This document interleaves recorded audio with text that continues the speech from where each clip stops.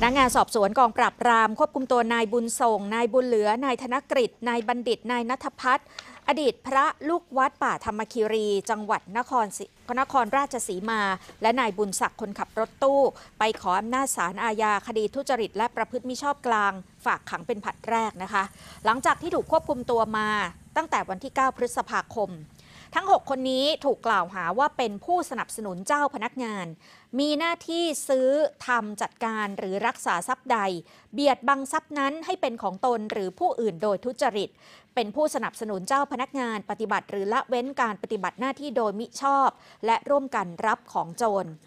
หลังจากที่ตำรวจสอบสวนขยายผลจากการจับกลุ่มนายคม หรืออดีตพระคมเจ้าอาวาสวัดป่าธรรมคีรี ซึ่งพบว่า ยักยอกเงินวัดไปกว่า 180 ล้านบาท โดยได้สั่งการให้อดีตพระทั้ง 5 รูปนี้เคลื่อนย้ายเงินสดและทรัพย์สินไปซุกซ่อนเพื่อป้องกันการตรวจสอบของเจ้าหน้าที่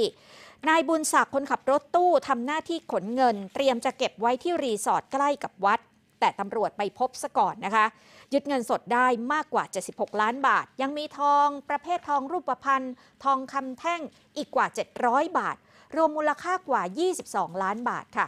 นอกจากนี้ยังมีทรัพย์สินอื่น ๆ ที่อยู่ระหว่างการประเมินมูลค่า คาดว่าไม่น่าจะต่ำกว่าอีกร้อยล้านบาท ที่จะต้องนำมาตรวจสอบเพิ่มเติมด้วยนะคะ โดยที่อดีตพระทั้ง 5 ถูกนำตัวไปศึกแล้วก็ไปคุมขังนะคะ